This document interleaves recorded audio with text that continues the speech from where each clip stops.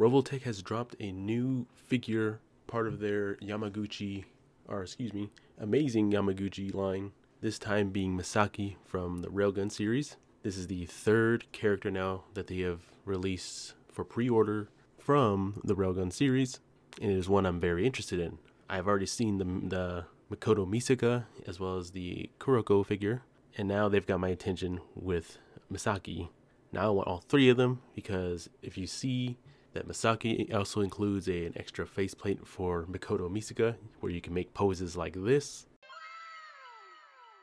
Alright, so while I do want all three of them, here's the bad news. They all cost around like $75. I think it's like $74 on AmiAmi or something like that. And the other bad thing is that they all release in the same month of November.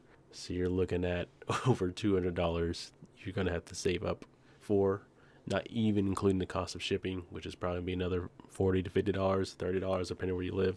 So it's very possible that I'll only pick up uh, Misaki as, you know, there's more options for the other two characters. There's a Figma for uh, for them, but Misaki doesn't have one. So I was like, uh, well, if I'm to get an action figure of her, this is probably to be the one.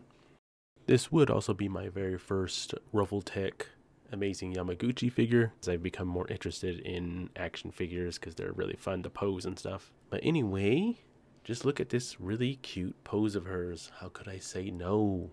I haven't pre-ordered yet, yet, but I'm most likely going to. And that's all I have for today. Just wanted to show off a figure I am very interested in.